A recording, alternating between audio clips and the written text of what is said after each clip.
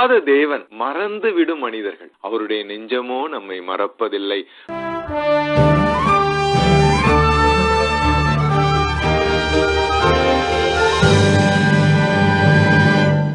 எங்களை மிகவும் அன்பாய் நேசிக்கின்ற எங்கள் நல்ல ஆண்டவரே இந்த நாளுக்காக உமக்கு நன்றி செலுத்துகிறோம். உம்முடைய வார்த்தைகள் மூலமாக ஆண்டவரே எங்களோடு பேசும். ஆண்டவரே உம்முடைய வார்த்தைகள் மாத்திரம் ஆண்டவரே எங்களை உயிர்ப்பிக்கும் சுவாமி. மனுஷர்கள் அப்பங்களினால் மட்டுமல்ல உம்முடைய ஒவ்வொரு வார்த்தையிலும் ஆண்டவரே அவர்கள் ஜீவனுடையவர்களாய் ஆண்டவரே தரித்திருப்பார்கள் சுவாமி. உம்முடைய வார்த்தைகள் ஆண்டவரே ராஜா எங்களை ஜீவனுள்ளவர்களாய் பெருக பண்ண கர்த்தர் கிருபை தாரும். உம்முடைய பரிசுத்த ஆவியானவர் மூலமாய் எங்களோடு இன்றைக்கு நீர் இடைப்பட வேண்டும் என்று ஜெபிக்கிறேன். இயேசுவின் நாமத்திலே கேட்கிற நல்ல பிதாவே. ஆமென். ஆமென். திருமறையின் திவ்ய காட்சிகளை நாம் தியானித்துக் கொண்டிருக்கிறோம். இந்த பிரபஞ்சத்துல பூமி ஒரு மணலத்தனையை விட சிறிதாயிருக்கிறது.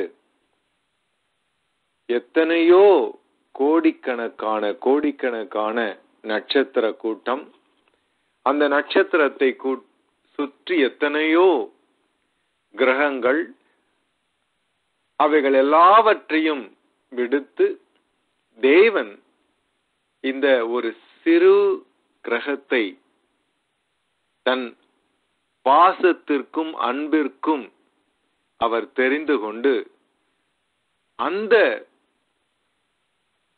பெரிய இந்த பூமியிலே ஒரு சிறிய தேசத்தை தனக்காக தெரிந்து கொண்டு அந்த தேசத்தின் மனிதர்களோடு அவர் ஒரு சாதாரண மனிதர்கள் மாதிரி அவர் என்ன செய்கிறார் இடைபட்டு கொண்டிருக்கிறார். இதுதான் வேதகாமத்தில் நிறைய இடம் பழைய ஏற்பாட்டு புத்தகங்களில் எல்லாம் வந்து இந்த சிறு தேசத்திலே அவர் எப்படி இடைப்பட்டார் எப்படி அவர்களோடு அவருடைய வாழ்க்கை அவரை பாதித்தது அதுதான் பழைய ஏற்பாட்டில் அத்தனை புத்தகங்களும் சொல்லப்பட்டு இருக்கிறது புதிய ஏற்பாட்டு காலத்துல இந்த கிருபையின் காலத்தில் கூட நம்முடைய வாழ்க்கையிலே நாம் செய்கிற எல்லா காரியமும் தேவனை பாதிக்கும். ஆண்டவர் வந்து உங்களை என் உள்ளங்கையிலே வரைந்திருக்கிறேன் என்று சொன்னால் அந்த அளவிற்கு அவர் எப்பொழுதும் நம்முடைய வாழ்க்கையிலே நம்முடைய முடிவுகள் நம்முடைய பேச்சு நம்முடைய சிந்தை இவையெல்லாம் அவருக்கு முன்பாய் எப்பொழுதும் இருந்து கொண்டே இருக்கிறது. பரலோக ராஜ்யம் சிறு பிள்ளைகளை வந்து அற்பமாய் எண்ணாதீங்க. ஏனென்றால் பரலோக ராஜ்யம் அவர்களுடையது. பரலோக ராஜ்யம் அவருடையதுன்னு ஏன் அதுக்கு ஆண்டவர் வந்து அதுக்கு ஒரு பதில் கொடுக்கிறார். என்ன சொல்றாருன்னா அவர்களுடைய தூதர்கள் எப்பொழுதும் தெய்வ சமூகத்தில் இருக்கிறார்கள். அதுக்கு என்ன அர்த்தம்னா ஒரு சிறு குழந்தை அந்த குழந்தைக்காக தேவன் விசாரித்து கொண்டே இருக்கிறார். அந்த விசாரிக்கும் போது அந்த விசாரணையை எடுத்து கொண்டு போகிற தூதர்கள் எப்பொழுதும் அவர் சமூகத்தில் இருந்து கொண்டே இருக்கிறார்கள்னா எந்நேரமும் அவர்கள் நினைவாய் அவர் இருக்கிறார். வேதத்துல கர்த்தரோ நம் மீது நினை நம்மை நினைத்திருக்கிறார். எப்பொழுதும் தேவன் நம் ஒவ்வொருவர் மீதும் நினைவாய் இருக்கிறார். பழைய ஏற்பாட்டில் எப்படியெல்லாம் தேவன் இஸ்ரவேல் ஜனங்களை நினைத்து கொண்டிருந்தார். இதுதான் பழைய ஏற்பாடு. நான் சுவிட்சர்லாந்து தேசத்துல என்னுடைய ஆராய்ச்சியின் காரணமாக நான் போயிருந்த போது என்னிடத்துல ஒரு ஆராய்ச்சி மாணவன் அவன் வந்து நான் வேதாகமத்தை படிக்கிறேன் என்று சொன்னத உடனே ரொம்ப அவன் வியந்து கேட்டான். அவ்வளவு போர் அடிக்கிற புத்தகத்தை எப்படி நீங்கள் படிக்கிறீர்கள்? என்று கேட்டான். நான் வந்து கொஞ்சம் கூட தாமதிக்காமல் இப்படி பதில் சொன்னேன். மற்றவர்களுடைய காதர் கடிதங்களை படித்தால் காதலில் ஈடுபடாதவர்களுக்கு போர் தான் அடிக்கும் என்று சொன்னேன். ஆண்டவர் என் மீது அன்பாயிருக்கிறார். எப்பொழுதும் என் நினைவாய் இருக்கிறார் என்று சொல்லி வேதத்தை வாசியுங்கள். வேதம் உங்களுக்கு வேறு விதமாயிருக்கும். கடவுளோடு ஆண்டவரோடு ஒரு நல்லுறவு நமக்கு இருக்குமானால் அந்த பாசத்துக்குரிய உறவு நமக்கு இருக்குமானால் அவருடைய வேதத்திலே நமக்காக அவர் எழுதி வைத்த காரியங்கள் திவ்யமாயிருக்கும். எதை படித்தாலும் இஸ்ரவேல் ஜனங்கள் நேசிக்கப்பட்டார்கள். நம்மில் அநேகர் எப்பொழுதும் அவரால் நேசிக்கப்பட்டு கொண்டிருக்கிறோம். ஆனால் நாம் நம்முடைய இதயத்திலே அதை எண்ணாமல் போகிறோம். நாம மறந்து போகிறோம். நம் சிந்தையில் நிறுத்தாமல் போகிறோம். இதே மாதிரிதான் இஸ்ரவேல் ஜனங்கள் மறந்து விட்டார்கள். ஆண்டவர் வந்து வேதத்தின் வசனங்களை நிலைப்படிகளெல்லாம் எழுதி வை ஒட்டி ஒட்டி ஒட்டி ஒட்டி வைத்து விடு என்று சொன்னார். எங்களுடைய வீடு என்னுடைய அலுவலகம் எல்லாவற்றிலும் வேதங்கத்தின் வசனங்களை நான் வந்து பிரிண்ட் எடுத்து அச்சு எடுத்து அடுத்து எடுத்து ஃப்ரேம் பண்ணி பண்ணி பண்ணி அங்க நான் போகும் இடங்கள் எல்லாம் வைத்திருப்பேன். ஏன்? ஏனென்றால் மனிதர்களுக்கு வந்து வசனங்களை மறக்கக்கூடிய சுவாபம் இருக்கிறது. மனிதர்களுக்கு தேவன் செய்ததை மறக்கக்கூடிய சுவாபம் இருக்கிறது. அது ஏன்னு தெரியல. ஆனால் தேவனோ மறப்பதில்லை. அவருடைய நெஞ்சமோ நம்மை மறப்பதில்லை. மறவாத தேவன் மறந்து விடும் மனிதர்கள். இதுதான் இன்னைக்கு நம்ம திருமறையிலேயே தியானிக்க போற காரியங்கள். இதற்கு ஆதாரமாக ஒன்று ராஜாக்கள் பன்னிரெண்டாவது அதிகாரம் இருபத்தைந்திலிருந்து முப்பத்தி மூன்று வரைக்கும் ஒருவரும் பதிமூணாவது அதிகாரம் ஒன்றிலிருந்து ஆறு வசனங்கள் மற்றொருவரும் வாசிக்கலாம்.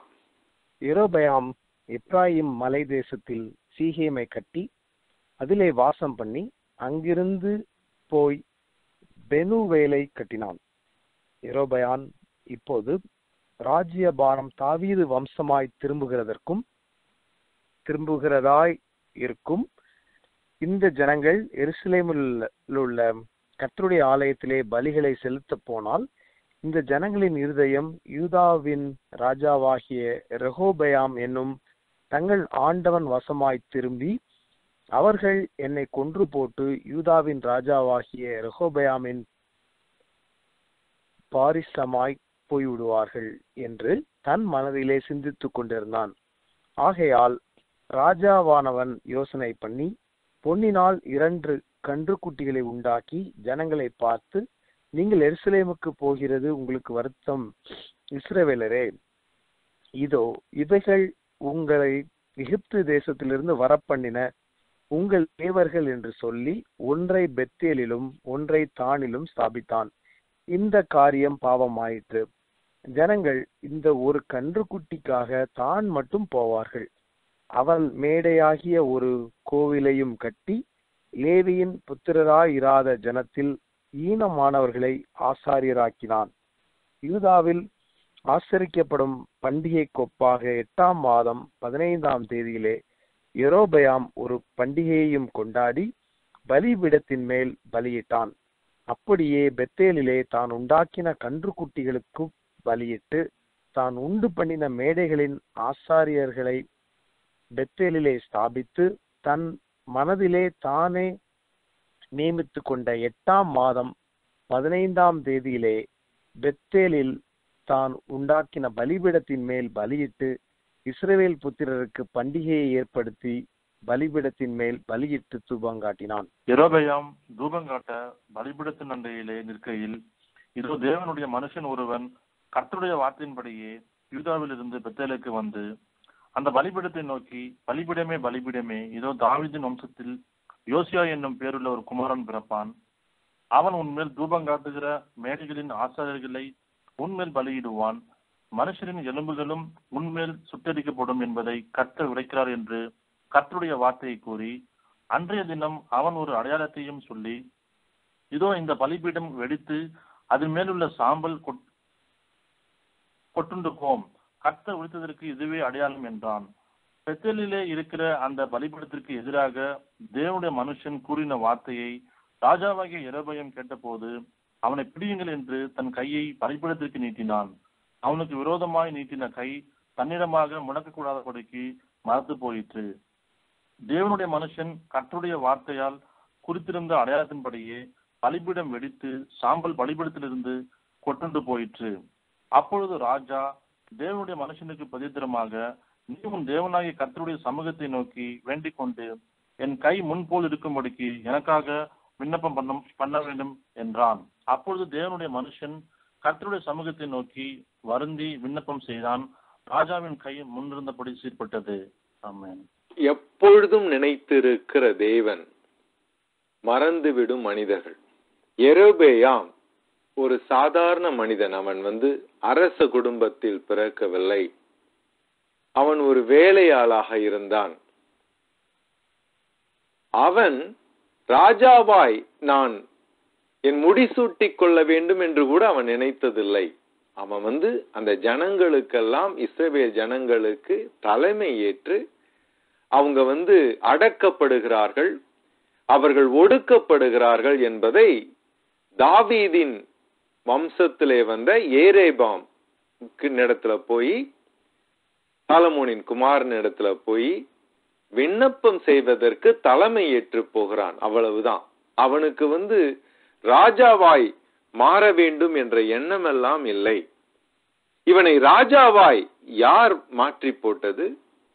தேவன் மாற்றி போட்டார். இவன் மீது கரிசனை கொண்டு இவனை கொண்டு தன்னுடைய ஜனத்திலே பாதியை எடுத்து அவனிடத்திலே கொடுத்து அந்த ஜனத்தை வந்து இவன் ரட்சிக்க வேண்டும் அவன் காப்பாற்ற வேண்டும் அவர்களை நல்வழிப்படுத்த வேண்டும் என்று சொல்லி அந்த பொறுப்பை அவனுக்கு கொடுக்கிறார்.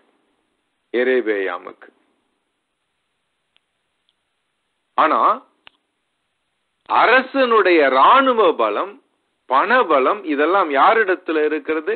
இதெல்லாம் சாலமோனின் குமாரன் இடத்துல தான் இருக்கு. இவனிடத்துல ஒண்ணுமே இல்லை. அப்போ சாலமோனின் குமாரன் நிறைய படைகளை திரட்டி கொண்டு எரேபேயாம் ராஜாவாய் மாறிவிட்டான் என்பதை கூட அவனை வந்து அவனையும் அவனோடு கூட இருக்கிற ஜனங்களுக்கு விரோதமாக ராணுவத்தை திரட்டி படைகளை திரட்டி அவனோடு சண்டையிட வரும்போது தேவன் எரேபயாமை காப்பாற்றுகிறார். அவர் வார்த்தையை சொன்னார் அவனை ராஜாவாக்கினார். ராஜாவான பிறகு அந்த ராஜ்யம் அவனிடத்திலே ஸ்திரப்பட வேண்டும் என்று சொல்லி ராணுவம் படை வகுத்து வரும்போது திரும்ப அந்த ராஜ்யத்தை பற்றி கொள்வதற்காக அவ யூதா ஜனங்கள் ராணுவம் அணிவகுத்து வரும்போது தேவன் வந்து பாதுகாக்கிறார். யாரை பாதுகாக்கிறார்? எரேபயாமை பாதுகாக்கிறார். அவன் மீது நினைவாய் இருக்கிறார். ஆனால் எரேபேயாம் எல்லா மனிதர்களை மாதிரி மறந்து விட்டான். எத்தனையோ அரண்மனைகளை கட்டுகிறான். தன்னை ஸ்திரப்படுத்திக் கொள்கிறான். ஆசீர்வாதத்தை அனுபவிக்க ஆரம்பித்து விட்டான். அதிகாரத்தை அனுபவிக்க ஆரம்பித்து விட்டான். ஆனால் அதிகாரத்தை கொடுத்த தேவனை மறந்து விட்டான். அதிகாரத்தை எப்படி நிறுத்திக் கொள்வது என்று பார்க்கிறான். ஒழிய அவன் அந்த அதிகாரத்தின் அந்த இதெல்லாம் கொடுத்தார் அல்லவா ஆண்டவர். இதெல்லாம் அவரிடத்திலே வந்ததல்லவா? அந்த ஆண்டவரை மறந்து விட்டான். ஆனால் தேவனோ அவன் மீது நினைவாயிருக்கிறார். எவ்வளவு கேவலமாய் மனிதர்கள் அவரை மறந்து துரோகம் செய்தாலும் அவரோ அவர்கள் மீது நினைவாயிருக்கிறார். என்னெல்லாம் செய்யறான் பாருங்க. எதெல்லாம் வந்து ஆண்டவருக்கு பிரியமில்லையோ அதெல்லாம் செய்கிறான். யூதா கிட்ட போய் அந்த ஜனங்களிடத்துல போயிடுவாங்க பண்டிகை நாட்களிலே. ஏனென்றால் தேவனுடைய ஆலயம் அங்க இருக்கிறது. அதனால அதே நாள்ல இரண்டாய் பிளந்து விட்டதல்லவா?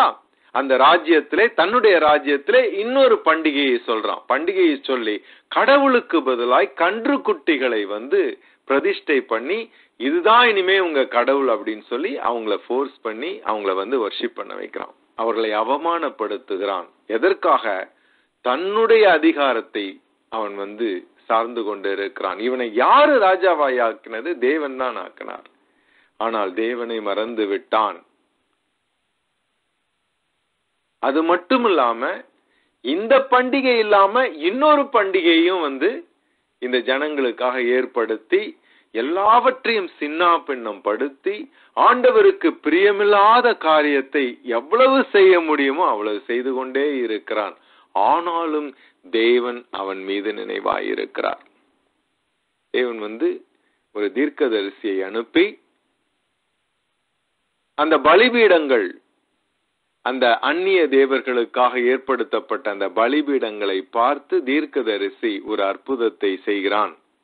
இந்த மாதிரி இன்னும் நாட் கொஞ்சம் நாட்களிலே யூதாவில் இன்னொரு ராஜா வருவான். அந்த ராஜா இந்த பலிபீடங்களை எல்லாம் தகர்த்து போடுவான் என்று சொல்லி ஒரு அற்புதம் நடக்கிறது. இந்த அற்புதத்தை பார்த்து கூட அதையெல்லாம் எரேபேயாம் பார்த்து கொண்டே இருக்கிறான். அவன் கண் முன்னாகவே நடக்குது. நேபுகாத் நேச்சாருக்கு முன்பாக தேவன் ஒரு அற்புதத்தை செய்தார். நேபுகாத் நேச்சார் நடுங்கி இஸ்ரவேல் ஜனங்களின் தேவன் உண்மையான தேவன் என்று அறிக்கையிட்டதாக வேதத்திலே வாசிக்கிறோம். ஆனால் எரேபியாமுடைய இதயம் கல் மாறி மறத்து விட்டது. கல்லை போல மறத்து விட்டது. அதுல உணர்வே இல்லை பாருங்க. அவன் அத அந்த மாதிரி ஒரு அற்புதத்தை பார்த்து பயந்து நடுங்கி மனது மாறி வருத்தப்பட்டு கண்ணீர் விட்டு ஆண்டவருடைய சமூகத்திலே போகாம அவனை பிடிங்கள்னு சொல்லி கையை நீட்டுகிறான். மறுபடியும் இன்னொரு அற்புதம் நடக்கிறது. அவனுடைய கைகள் மறத்து விட்டது. பக்கவாதம் வந்த மாதிரி அப்படியே நின்று கொண்டிருக்கிறது. அதை பார்த்து கூட தேவன் தன்னை பார்த்து கொண்டிருக்கிறார் தன்னை கவனித்துக் கொண்டிருக்கிறார். இந்த அசாதாரணமான காரியங்கள் எல்லாம் நடந்து கொண்டிருக்கிறதே என்று சொல்லி அவனுக்கு உணர்வில்லை. எல்லாம் முடிந்து விடுகிறது. முடிந்து விட்ட பிறகு அப்பதான் பயம் வருகிறது. ராஜா நீட்டிய கரங்களோடு எப்படி வந்து ராஜ்யபாரம் செய்ய முடியும்? அது எப்படி இருக்கும் பாருங்க. அவரால் மடக்க முடியாது கீழே போடவே முடியாது. கை அப்படியே இருக்கிறது. நீட்டியபடி இருக்கிறது. எவ்வளவு பயங்கரமான ஒரு வாழ்க்கை இருக்கும். போகும் இடங்களெல்லாம் கை நீட்டிக்கொண்டே இருப்பார் ராஜா. அதை பார்க்கிற ஜனங்கள் எந்த தேவனை ஜனங்கள் மறக்க வேண்டும் என்று சொல்லி கன்றுக்குட்டியை செய்தானோ? எந்த தேவனை ஜனங்கள் மறக்க வேண்டும் என்று சொல்லி வேற வேற பண்டிகளை அவன் நியமித்தானோ? எந்த தேவனை மறக்க வேண்டும் என்று சொல்லி அவன் பலிபீடங்களை கட்டினானோ? அந்த ராஜா தேவனுடைய நியாய தீர்ப்பையும் அவர் மனிதர்கள் மீது நினைவாயிருக்கிறார். அவர்களுடைய காரியங்கள் எல்லாம் அவருடைய சமூகத்திற்கு முன்பாய் வருகிறது என்பதை சாட்சி பகரும்படியாய் நீட்டிய கரங்களாய் நீட்டிய கரங்கள் எப்படி இருக்கும்னா உங்கள் எல்லாருக்கும் நீங்கள் எத்தனை பேர் கண்ணகி சிலையை பார்த்திருக்கிறீர்கள்னுட்டு தெரியாது. ஏனென்றால் அந்த சிலையை வந்து அந்த இடத்திலிருந்து தகர்த்து உடைத்து போட்டு விட்டார்கள். காலமான முதலமைச்சர். அந்த சிலையின் கரங்கள் ஒரு விரலை காட்டி சென்னையை பார்த்து நீட்டிய கரமா இருக்கும். இந்த எரேபாமுடைய உடலும் அந்த மாதிரி தான் இருந்திருக்கும். நீட்டிய கரங்கள் மடக்க முடியாத கரங்கள். எதுவுமே மடக்க முடியாது. விரல்களை மடக்க முடியாது. கரங்களை மடக்க முடியாது. மரத்து போய்விட்டது. அந்த கரத்தின் மீது அவனுக்கு எந்த கண்ட்ரோலும் கிடையாது. ஆண்டவருடைய பிள்ளைங்க அவருடைய அவருடைய சரீரம் மாதிரி இஸ்ரவேலை அவர் நே நேசிக்கிறார் இல்லையா? அவருடைய மனவாட்டி இல்லையா? பிரைடர் மனவாட்டி கிறிஸ்து இயேசு சபையை தன் சரீரம் மாதிரி நேசித்தது மாதிரி புருஷர்கள் தங்கள் மனைவியை நேசிக்க வேண்டும் என்று சொல்லி வேதத்திலே நாம் வாசிக்கிறோம். அப்போ தேவ சபை அவருடைய சரீரம். அந்த சபையிலே ஒரு பகுதி அவருடைய கண்ட்ரோல்ல இல்லாம போகணும்னு நினைக்குது இஸ்ரேவேல் தேசம் இல்லையா? அதுதான் அர்த்தம். என்ன சொல்றேன்னா எல்லாம் தனியாய் தனியா பலிபீடம் தனியாய் கடவுள் தனியா எல்லாம் செஞ்சிட்டான். அப்ப என்ன அர்த்தம்? அதன் மூலமா என்ன செய்யறான் என்னுடைய பதவியை நான் நான் வைத்துக் கொள்ள வேண்டும் என்றால் இஸ்ரவேலின் உண்மையான தேவனை மனுஷர்கள் வந்து மறந்து விட வேண்டும். அவருக்கும் இவங்களுக்கும் சம்பந்தமே இருக்கக்கூடாது. அப்ப என்ன அர்த்தம்? அவருடைய சபையை ஒரு பகுதியை அவருடைய கண்ட்ரோலுக்கு இருக்கக்கூடாது என்று சொல்லி இவன் முயற்சி செய்து அதில் வெற்றிகரமாய் செய்து விட்டான். இப்போ அவனுடைய சரீரத்தின் ஒரு பகுதி அவனுடைய ஆளுகையில் இல்லை. நீட்டிய வண்ணம் நின்று கொண்டே இருக்கிறது. இது எவ்வளவு பயங்கரமான ஒரு விஷயம். உடனே அந்த தீர்க்கதரிசியின் இடத்துல அவன் வந்து சில பேர் டெம்பரவரியா மனம் திரும்புகிறார்கள். டெம்பரவரியாய் மனம் திரும்பி ஆண்டவரிடத்துல எனக்காக உருக்கமாய் வேண்டுதல் செய் அப்படின்னு சொல்லி என் கரங்கள் சரியா போனோம். ரொம்ப அவமானமாக இருக்கும். நீட்டிய கரங்கள் கண்ணகி மாதிரி நீட்டிய கரங்களோடு நான் எங்கெல்லாம் போவது? நான் எப்படி என்னுடைய வாழ்க்கையை கழிப்பது என்று சொல்லி கண்ணீரோடு கேட்கிறான். அதுல வேதத்துல ரொம்ப அழகா இருக்கு பாருங்க அந்த வார்த்தைகள். அந்த தீர்க்க தரிசி இப்படி சொல்லல. உனக்கு இதுவும் வேணும் இன்னமும் வேணும். இப்படியே இருந்து அழிந்து சாவு அப்படின்னு சொல்லி இருக்கலாம் அப்படி சொன்னவங்க எல்லாம் இருக்காங்க. அப்படி சொல்லல. அவனுக்கு அந்த தேவனுடைய தீர்க்க தரிசிக்கு தேவ தன்மை இருந்தது. அவருடைய இதயம் மாதிரி அவனுடைய இதயமும் இருந்தது. வேதத்துல போட்டிருக்கு வருந்தி ஜெபித்தான்னு போட்டிருக்கு. வேண்டா வெறுப்பா ஜெபிக்கல. கண்ணீர் விட்டு இந்த மாதிரி ஒரு தீய ராஜாவுக்கு தேவனை மறந்த ராஜாவுக்கு தேவனை மறக்க பண்ணின ராஜாவுக்கு தேவனுக்கு விரோதமாய் இருக்கிற ராஜாவுக்காக வருந்தி ஜபித்தான். நீங்க வ- வசனத்தை நீங்க பார்க்கும்போது என் கை முன்னை போல் ஆகும்படி எனக்காய் வேண்டுதல் பண்ண வேண்டும் என்றான் அப்பொழுது தேவனுடைய மனிதன் கர்த்தருடைய முன்னிலையை நோக்கி வருந்தி விண்ணப்பம் செய்தான். அப்பொழுது அரசனின் கை முன் இருந்தபடி சீர் செய் தேவன் ரிவர்ஸ் பண்ணினாரு. எவ்வளவு அன்பு பாருங்க. தன்னுடைய பிள்ளை எல்லார் முன்னாடியும் தனக்காய் ஜபிக்குது. அதை கேட்கணும். அது எப்படின்னா இந்த மாதிரி ஒரு கொடிய மனிதனுக்காக வேண்டுதல் செய்யும் போது கூட அவர் கேட்கிறார். அதனால எப்பொழுதும் பாருங்க மற்றவர்களுக்காக நம்ம ஜெபிக்கணும். ஜெபிக்க கேளுங்க நிறைய என்னுடைய இந்த பிரச்சனை இருக்கு ஜெபிங்க அப்படின்னு சொல்லி கேளுங்க. தேவன் நிச்சயமாய் கேட்பார். தீயவர்களுக்காக செய்யும் ஜெபத்தை கூட தேவன் கேட்கிறார் பாருங்க. வருந்தி ஜெபித்த உடனே உடனே அவர் ஜெபத்தை கேட்டு சரி பண்ணி கொடுக்கிறார். ஆண்டவருடைய இதயம் அதுதான். நினைவாய் இருக்கிற இதயம். மறந்து போய் விடுகிற மனிதர்கள். இன்னும் கொஞ்ச நேரத்துல நம்ம பார்க்க போறோம். இந்த தீர்க்கதரிசி எப்படி தேவனை மறந்து விட்டான் என்று சொல்லி. இவ்வளவு அன்பாய் அவனை அவர் நேசிக்கிறார். இந்த தீர்க்கதரிசியை சொல்றேன். நான் வந்து எரேபேயாம சொல்லல. அடுத்த வாரம் அதை பார்க்கலாம். எப்படி அவன் அவரை மறந்து விட்டான் என்று சொல்லி நம்ம பார்க்க போகிறோம். நம்முடைய வாழ்க்கையிலே அவர் நம்மை மறப்பதில்லை. நாமும் அவரை எப்பொழுதும் நினைத்திருப்போம். எத்தனை முறை அவருடைய நினைவு நம்முடைய இதயத்துல இருக்கிறது? நம்முடைய பிள்ளைகளை எப்பொழுது நினைத்து கொண்டு இருக்கிறோம் நம்முடைய குடும்பத்தினரை நினைத்து கொண்டு இருக்கிறோம் எத்தனை முறை அவரை நினைத்து இருக்கிறோம் நினைத்து கொண்டிருக்கிறோம் நினைக்க போகிறோம். அவர் நினைவாய் இருப்போம். அப்பொழுது அவருடைய நெஞ்சு நம் மீது பிரியமாயிருக்கும். எப்பொழுதும் ஆண்டவருக்கு ஸ்தோத்தரன் சொல்லி அவரை நோக்கி நம்முடைய ஜெபங்களை நமக்காகவும் மற்றவர்களுக்காகவும் செலுத்தி கொண்டே இருப்போம். கர்த்தருடைய சமூகத்திலே அது ரொம்ப சந்தோஷமா இருக்கும் ஏனென்றால் அவர் நினைக்கப்பட வேண்டும் என்று விரும்புகிறார்.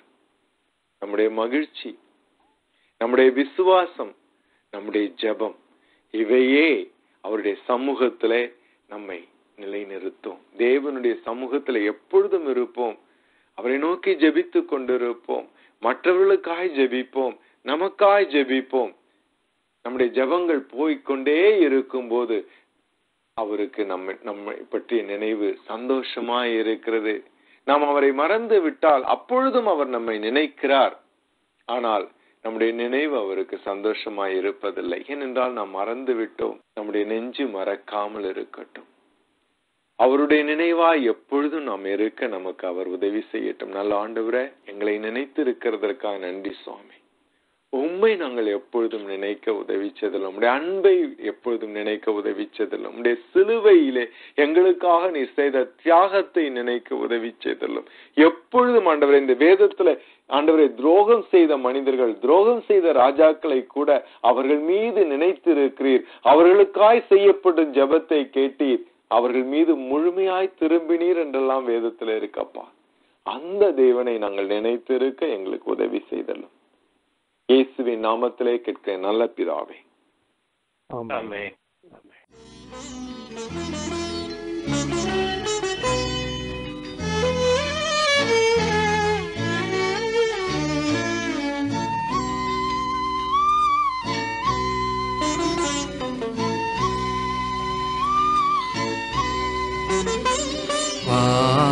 பாவி. மலைத்து நில்லாதேவா பாவி. மலைத்து நில்லாதே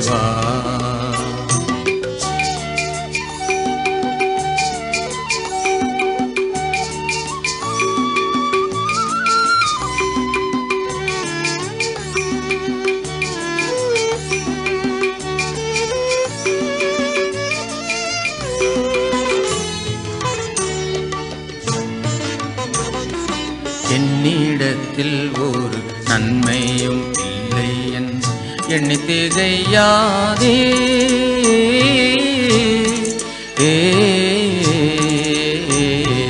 என்னிடத்தில் ஒரு நன்மையும் இல்லை என் எண்ணி திகையாதே. உன்னிடத்தில் ஒன்றும் இல்லை அறிவேனே. உன்னிடத்தில் ஒன்றும் இல்லை அறிவேனே. உள்ளபடி வாவே மலைத்து நில்லா தேவா. பாவி மலைத்து நில்லா தேவா. பாவி மலைத்து நில்லா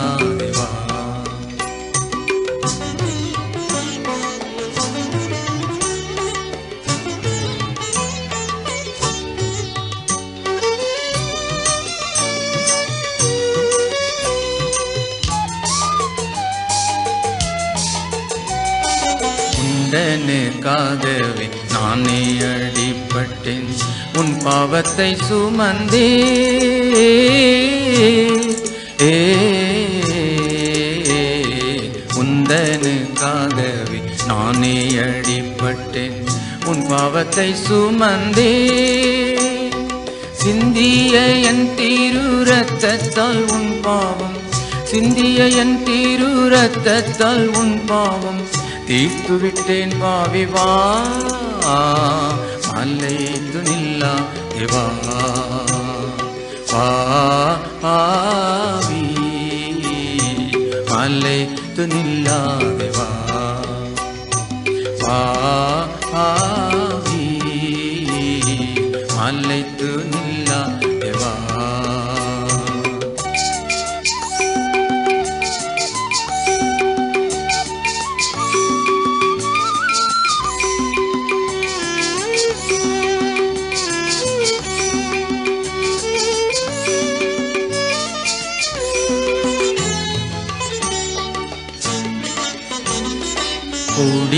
பாவ அழலில் விழுந்து குன்றி போனாயோ?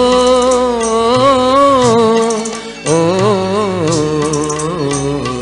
கொடிய பாவ அழலில் விழுந்து குன்றி போனாயோ? ஒடுங்கி வருந்தும் பாவிகள் தஞ்சம் நான் ஒடுங்கி வருந்தும் பாவிகள் தஞ்சம் நான். ஒன்றுக்கும் அஞ்சாதே வா மலைத்து நில்லா தேவா வா பாவி அலைந்து நில்லா தேவா? வா பாவி அலைந்து நில்லா தேவா? அலைத்து நில்லா தேவா மலைத்து நில்லா தேவா